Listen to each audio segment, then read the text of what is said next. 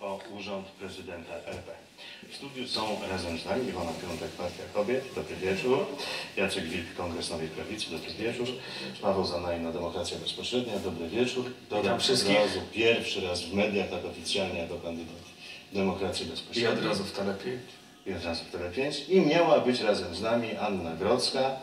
Niestety nie przyszła. Co jest takiego ciekawego w e, tej polityce albo w tych wyborach, szczególnie prezydenckich, że Państwo zdecydowali się na to, żeby jednak wystartować? Ja myślę, że na to już może odpowiedzieć dziecko, przynajmniej mój syn potrafi odpowiedzieć, że jednak trzeba angażować się w politykę, bo tak naprawdę przez politykę, aktywną politykę tworzymy prawo i rzeczywistość, w której funkcjonujemy. Więc musimy się angażować, a szczególnie my kobiety, dlatego że jest nas mało w polityce i jesteśmy niedoreprezentowane i nasze sprawy też są niedoreprezentowane. Natomiast myślę, że mamy zupełnie inną perspektywę, bo mamy trochę inne doświadczenia życiowe i w kulturze mamy wyznaczone zupełnie inne role. To, o czym się teraz mówi bardzo dużo. Y, Ja przynajmniej do tego trafiłam do polityki, bo chciałabym tą rzeczywistość zmieniać i trochę inną jakość. Panie Jacku, po co to Pan? To jest troszkę inaczej. Nie tyle my trafiamy do polityki, co polityka trafia do nas, bo nie da się nie, nie, da się nie interesować polityką, dlatego że polityka... w- Coraz więcej ludzi się nie Każdy- interesuje polityką. Mówią, już mam dość polityki, No już mam dość polityków, dlatego to nie trzeba, znam. Dlatego trzeba wszystkim spokojnie tłumaczyć, że to jest niestety niemożliwe, ponieważ polityka wkracza w każdy aspekt naszego życia. To, do jakich szkół wysyłamy dzieci, to gdzie się ubezpieczamy, to czego się te dzieci uczą, to... To nie jest polityka, to jest wybór. Wysyłamy dziecko do szkoły, która jest To jest najbliżej. wybór polityków, czego się te nasze dzieci uczą, co się z nimi potem dzieje, w jakim wieku przechodzimy na emeryturę i tak dalej. Cała, cała ta niestety e, ten świat polityczny przenika nas tak bardzo, że właściwie nie możemy już właściwie kroku zrobić bez decyzji polityków. Panie Pawle, jak to To szło w tym działać. Taka psuła za moimi plecami, czy za tymi plecami? Zbiornik. Zbiornik. To polecam na stronie tanajno.pl, tam można obejrzeć a, moje materiały Kosmici. filmowe o kosmitach, tak, z Sejmu. Natomiast mm, dlaczego ja mm, startuję w tych wyborach prezydenckich, to właściwie pan redaktor przed chwilą odpowiedział. Pan redaktor powiedział, że chce mieć wybór. I to właśnie o to chodzi. Ja brzydzę się polityką, tak jak wszyscy Polacy, i nie uważam I wcale- dlatego startuję w wyborach. tak, właśnie. Dlatego, żeby zwykli obywatele mieli wybór, ponieważ koncepcja demokracji bezpośredniej na prezydenta jest taka, że prezydent de facto staje się urzędnikiem, który stojąc na straży konstytucji wykonuje ze szczególną pieczołowitością artykuł 4, który mówi, że naród może sprawować władzę bezpośrednio. Dotychczas wszyscy trzej prezydenci w naszej historii a dążyli do tego, żeby jak najbardziej pozbawić naród władzy bezpośredniej. Żeby pan redaktor nie mógł swojego wyboru e, przekładać na to, co się dzieje w państwie. Demokracja bezpośrednia w swoim programie właściwie koncentruje się tylko na tym, na zmianie jakości zarządzania państwem. Nie wierzymy w żadnych polityków. Ja nie obiecuję, że cokolwiek się zmieni w tym państwie. Ja uważam, że jakakolwiek zmiana mnie, w siebie? Nie, ja w ogóle nie stawiam na to, żeby obywatele zaufali Pawłowi Tanajna, że on cokolwiek zmieni. Nie, ja mówię, że jakiekolwiek zmiany w tym państwie mogą nastąpić tylko według decyzji obywateli. Tak jak pan redaktor powiedział, wybór obywateli. Ja najpierw nawiążę do tego, co pan Tonajno powiedział. Otóż ja mogę na pewno obiecać jedną rzecz, że to państwo będzie ingerować mniej w życie obywateli. Że będzie się zajmować tym, co, czym się zajmować powinno. No nie, ja zawsze starałem się właśnie precyzować poszczególne postulaty i przekuwać je w jakieś konkretne fakty i to w tej kampanii będę robił. Bo to nie wystarczy powiedzieć obywatelom, że podatki mają być niskie i proste, bo to wszyscy wiedzą i wszyscy tego chcą. Tylko zawsze jest pytanie, e, jak to zrobić, jakie konkretnie mają być podatki, ile mają wynosić i tak dalej, i tak dalej. No właśnie, ile powinny Więc, wynosić te dobre podatki? Te dobre podatki ile powinny, wynosić? powinny być takie, żeby każdego było stać na nie płacić i żeby, e, żebyśmy, żeby zostawało nam tyle, żebyśmy mogli to lokować e, tym, co się dzieje w naszym kraju, w usługach, które są, konsumować. Krótko o podatkach. Więc podatki powinny być takie, jakich sobie życzą obywatele przy założeniu zrównoważonego budżetu. Obywatele nie chcą płacić podatków. To w takim razie Bardzo muszą, muszą być świadomi tego, że e, spadnie jakakolwiek osłona socjalna w państwie. Jeżeli jej nie chcą, chcą, tak jak proponuje Jacek e, Wilk, żeby państwo jak najmniej ingerowało, tak powinno być. Jeżeli jednak obywatele zdecydują, tak jak proponuje pani Iwona, żeby te podatki były jednak wyższe, żeby redystrybucja dóbr ze strony rządu była na wyższym poziomie, musi się dziać tak, jak chcą obywatele. I wcale nie jest powiedziane, jak ci obywatele zdecydują, bo dotychczas decydują tylko politycy. I wcale nie jest tak, jak twierdzą Jedni, że o, obywatele to socjaliści, będą chcieli mieć jak najwięcej a, ze strony państwa mm, dodatków, a z, dru- z drugiej strony ludzie się obawiają, że jednak obywatele to są tacy egoistyczni będą chcieli zminimalizować te podatki. Nie wiadomo jak tak będzie. Dajmy ludziom głos. Niech ludzie zdecydują. Ten głos się pięknie rozłoży. Ale gdzie ci ludzie mają decydować? Przy urnie, No na właśnie, ulicy, to jest patologia. Gdzie? W referendum. To jest patologia tego obecnego systemu, gdzie politycy e, zrobili się taką kastą rządzącą, gdzie obywatele zostali zmarginalizowani do reszty. I ja być może w ogóle nie chciałbym zostać politykiem, jeżeli jako zwykły obywatel miałbym na tyle duży wpływ ze swoim głosem w referendum, z ludźmi, z którymi współpracuję razem, głosując w tym referendum, żeby przegłosować e, tych 460 niedouczonych, przeważnie o niskim poziomie intelektualnym ludzi, którzy siedzą w Sejmie. Tak? To jest 460 osób, których nie czyta nawet ustaw, które głosują. I teraz gdybyśmy my, obywatele, mogli stanąć nad nimi, co nam zresztą gwarantuje artykuł 4 Konstytucji, tak? No to wtedy możemy Na się dobrą tak sprawę nie zajmować tą 460 polityką. pozwów już jest.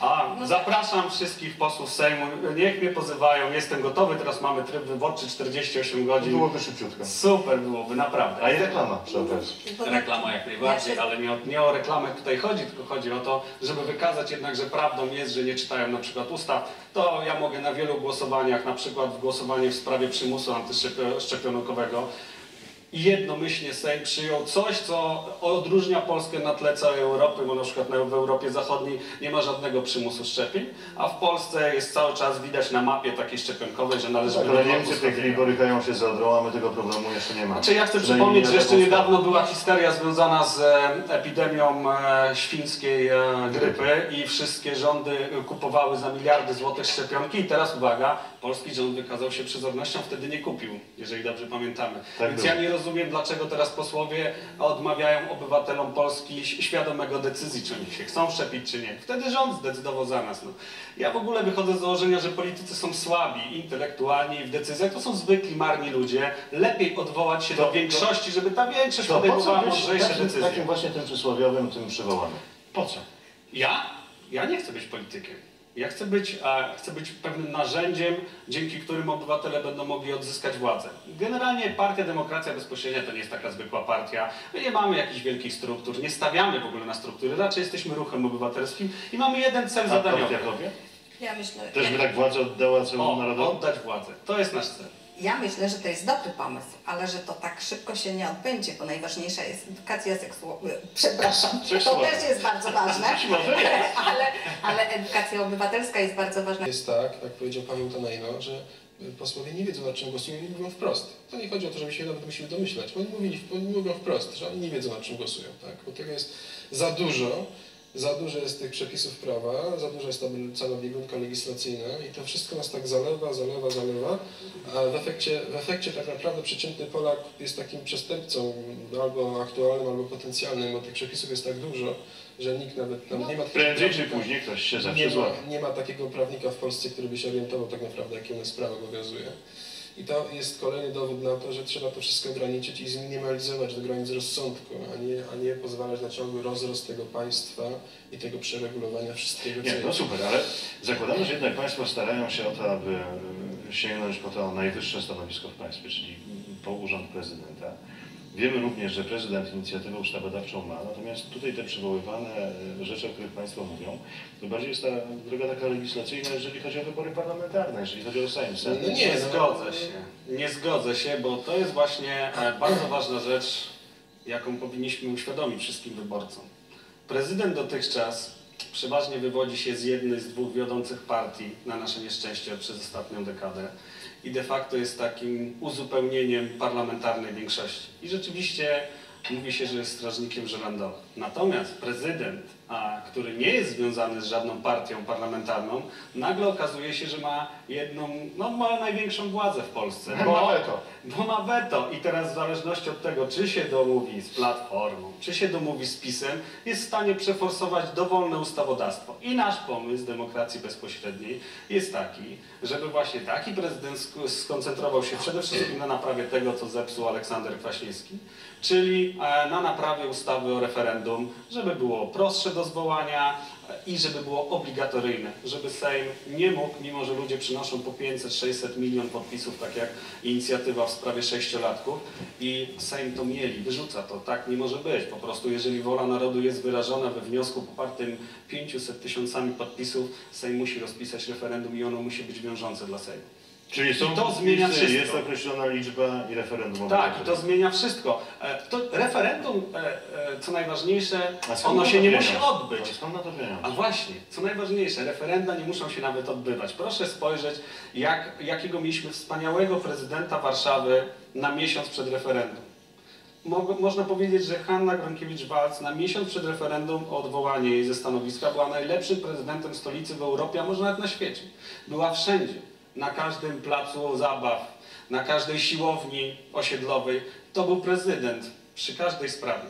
No ale tuż po referendum znowu wszystko upadło. Ale sama groźba referendum, jeżeli ono jest łatwo zwoływalne, powoduje, że politycy dostają w końcu takiej dyscypliny, jak każdy z nas czuje dyscyplinę chodząc do pracy. Po prostu politycy wiedzą, że wtedy szefem jest naród, szefem są obywatele. I oni zaczną czytać, bo to nie jest tak, jak Jacek powiedział, że tego, tych praw jest za dużo. Nie. Jacek, oni po prostu nie czytają, bo nie mają szefa. Dostają co miesiąc 10 tysięcy e, pensji i oni nie muszą czytać, bo kto im co zrobi za to, że oni nie Ale czytają. nawet by nie nadążyli. Nadążyliby, Jacek, tego nie ma tak dużo. A może inaczej, jakby zaczęli czytać, to Jakby tak, zaczęli. tak szybko by nie procedowali, by nie głosowali tak szybko. No. Nie. Obiecaliśmy Państwu po półtorej minuty na to, żeby się przedstawić z jak najlepszej strony i udowodnić, że to właśnie ja, wskazana tutaj osoba, chciałabym uzyskać Państwa poparcie i uzyskać te głosy. To jest Państwa pierwszy? Panie Piotrze. Dziękuję bardzo. Ja oczywiście zdaję sobie z tego sprawę, tak jak mówił pan redaktor, że chociaż Paweł zaprzeczył, że y, prezydent raczej może być rzecznikiem wielu spraw, ale jest to największy autorytet, przynajmniej powinien być w kraju, osoba najważniejsza. Więc na pewno będę y, ogromną rzeczniczką y, społeczeństwa egalitarnego, czyli takiego, gdzie są równe prawa, ale nie tylko prawa, bo prawa najczęściej mamy równe, tylko gdzie są równe szanse. A drugim takim moim właśnie postulatem, czyli em, zgłoszeniem e, e, ustawy, propozycji ustawy, to będzie właśnie ta obowiązkowa edukacja obywatelska.